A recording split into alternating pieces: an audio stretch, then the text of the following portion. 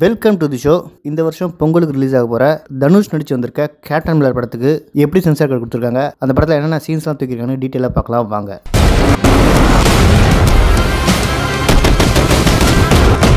இவனுங்க படத்தை பற்றிலாம் பேசுறதுக்கு முன்னாடி கேப்டன் விஜயகாந்த் மறைவினால் வேதனைக்குள்ளான கோடான மக்களில் நானும் ஒருவன். அப்பேற்பட்ட மாமனிதனை பற்றி பேசிட்டு அதுக்கப்புறம் இந்த நாயங்க படத்தை பற்றி பேசலாம். கேப்டன் விஜயகாந்த் பீக்கில் இருக்க காலத்திலேயே அவரை விட அப்போ இருந்த இன்னும் ரெண்டு ஹீரோ அதை விட சம்பளம் அதிகமாக வாங்குவாங்க. அவங்க நல்லா நடிப்பாங்க அவங்களுக்கும் இதை விட நிறைய ஃபேன் பேஸ் இருக்குன்றதுலாம் மாற்று கருத்தே இல்லை.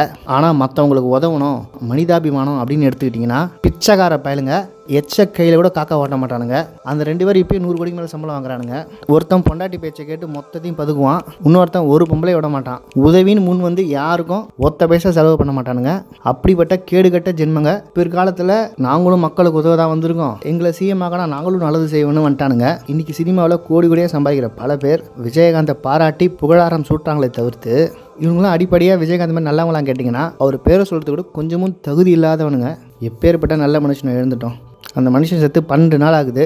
இன்னமும் அந்த துக்கம் பல லட்சம் பேருக்கு குறையல.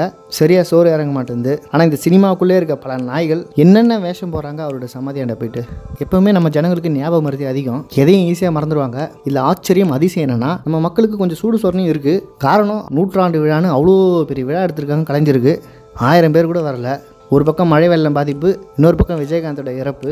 ரெண்டும் மிங்கிலாகி ஒரு மாதிரி எல்லா குடும்பத்துலேயும் தமிழ்நாடு முழுக்கமே ஒரு ஆழ்ந்த துக்கமும் ஒரு அமைதியாகவும் சோகமாகவும் தான் எல்லாம் இருந்துட்டு வராங்க. இந்த ரெண்டு கட்சிகளும் மக்களுக்கு மாறி மாறி காசு கொடுத்து தான் கூட்டம் சேர்ப்பானுங்க. காசு பிரியாணி குவாட்ரு இது கொடுக்கலன்னா எவனையும் நாங்கள் எட்டி பார்க்க மாட்டோம். விஜயகாந்தை தவிர்த்து அப்படின்றத பல ஆண்டுகள் கழித்து இப்போ நிரூபிச்சிருக்காங்க. இது சினிமா ஹீரோக்காக கூடின கூட்டம் கிடையாது. அந்த மனுஷன் சொக்க தங்கம். போய் சேர்ந்துட்டார். அவர் இருக்கிற வரைக்கும் அவர் யாரும் புகழ்ந்து பேசலை. எல்லா மீடியாவும் அவரை வச்சு நல்லா செஞ்சாங்க. இன்றைக்கி அவங்களே செஞ்சதெல்லாம் தப்புன்னு ஃபீல் பண்ணுறாங்க இன்றைக்கும் நம்பர் ஒன் ஸ்டாராக இருக்க ரஜினி கமல் சத்தா கூட மக்கள்கிட்ட இவ்வளோ பெரிய ஆதங்கமும் இப்பேற்பட்ட கூட்டமும் நிச்சயம் அவங்கள தேடி வராது. நீங்களே அதை பொறுத்து இருந்து பார்ப்பீங்க. இவங்களுக்கே இந்த நிலமனா விஜயகாந்த் இறப்புக்கு கூட வராத. நடிகர்களோட வாழ்க்கை எப்படி இருக்குன்னு நினச்சி பாருங்கள் எல்லாம் வெளிநாட்டில் இருக்கானுங்களாம். இங்கே வந்து சேரவே முடியாதான். பா. பச்சை பச்சையாக புழுகுறானுங்க. இதில் ஒவ்வொருத்தருக்கும் தனி ஐடி விங்கு. இவங்களை பற்றி பாராட்டி புகழ்ந்து பேசணுமா? இவங்களை பற்றி தப்பாக ஏதாவது ஒரு வீடியோ போட்டால் ஸ்ட்ரைக் கொடுப்பானுங்க. வீடியோ டெலிட் பண்ணுங்கன்னு நச்சரிப்பானுங்க. அப்பேற்பட்ட உத்தமங்களாம் இவனுங்க.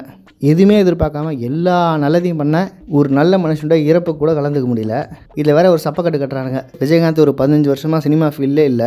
அதுக்கப்புறம் வந்த நடிகர்களுக்கெல்லாம் அவருடைய புகழ் எப்படி தெரியும்? அப்படி ஒன்றும் அவர் சாவுக்கு வரணும்னு அவசியம் இல்லை அப்படின்றாங்க. இப்போ விஜயகாந்த் நினச்சி கவலைப்படுறவங்கலாம் சினிமாவில் இருக்க ஆளுங்களா? இல்லை சொந்தக்காரங்களா? அப்போ எங்களுக்கு மட்டும் என்ன விஜயகாந்த் கிட்ட ஒரு அதிசய உறவு? விஜயகாந்த் நமக்கும் நேரடி தொடர்பே இல்லாத போதே நமக்கே வயிறு எரியுது. அவருடைய சினிமா துறையிலே இருந்துக்கிட்டு எதுவுமே தெரியாத மாதிரி நடிக்கிறானுங்களே. இவனுக்கு பின்னாடி போய் மக்கள் கூட்டம் சேர்ந்து பாரு. திருட்டு பயலுங்க. ஒன்று மட்டும் தெரிஞ்சுக்குங்க.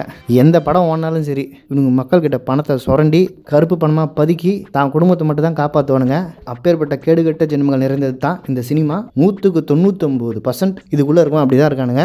அது இப்போ மக்கள் கிட்டத்தட்ட எல்லாருக்கும் ஓரளவுக்கு புரிஞ்சிடுச்சு. ஏன்னா இந்த ஒரு நடிகரில் உள்ள யாரும் அத்தனை பேரையும் அவர்களுடைய ரசிகர்களே நாராக கிழிச்சு போட்டானுங்க. அனைவரோட முகத்திரையும் கிழிந்தது.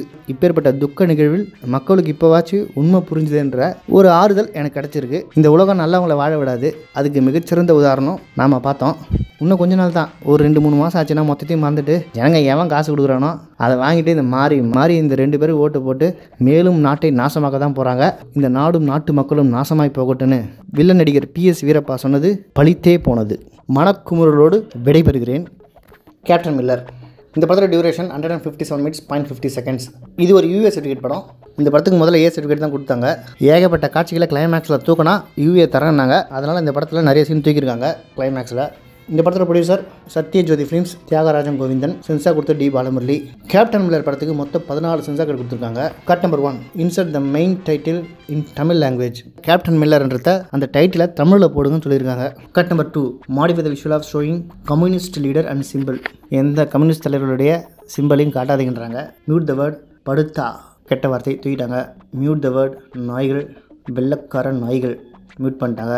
Cut number five mute the word son of bitches cut number six pigs white pigs cut number seven mute the word cut number eight mute the word fucking cut number nine mute the word cut number ten reduce fifty percent the visual of multiple stabbing பல தடவை கத்தியால் குத்தி கொலை பண்ணுற காட்சியை fifty percent reduce பண்ண சொல்கிறாங்க cut number eleven mute the word filthy animals Cut number 12. Reduced by 40% violence in temple fight sequence, especially reduce the visual of hitting and blood spurts கத்தியால் குத்தி ரத்தம் தெறிக்கிற மாதிரி கோவிலில் வர ஒரு சண்டை காட்சியை ஒரு பதினாலு செகண்டுக்கு தூக்கியிருக்காங்க. Cut number thirteen reduce by forty percent the climax fight sequence reducing the visual of violent hitting stabbing blood spurts shooting the major by hero main வில்லனை ஹீரோ கொலை பண்ணுற மாதிரியான பட்டு பயங்கரமான கிளைமேக்ஸ் சண்டை காட்சி. நாலு நிமிஷம் இருபத்தொரு செகண்ட் கிட்டத்தட்ட ஒரு அஞ்சு நிமிஷம் சீனை கிளைமேக்ஸில் வர ஃபைட் ரொம்ப வயலன்ஸாக இருக்குது ரத்தம் சொட்ட சொட்ட இருக்க அந்த கலைவர காட்சியை கட் பண்ணி தூக்க சொல்லிட்டாங்க. Cut fourteen modify with visual of blood splash blood spurts where occurs இந்த ஃப்ரேம்ஸ் அருண் மாதேஸ்வரன் படம்னாலே ரத்த குளியில் தான் இருக்கும். அந்த மாதிரியான பெரும்பான்மையான காட்சிகளை இந்த படத்தில் குறைக்க சொல்லியிருக்காங்க. இதனால் இந்த படம் கிட்டத்தட்ட நாலு நிமிஷம் முப்பத்தாறு செகண்டுக்கு வெட்டி தூக்கப்பட்டிருக்கு. இதெல்லாம் போக மிச்சம் இருக்கிற படம் எப்படி இருக்குன்றத பொறுத்து வந்து பார்க்கலாம். என்ன குருநாதா உங்களுக்கு புது ஐட்டம் அறிஞ்சிருக்காங்க? எங்க திரும்புங்க?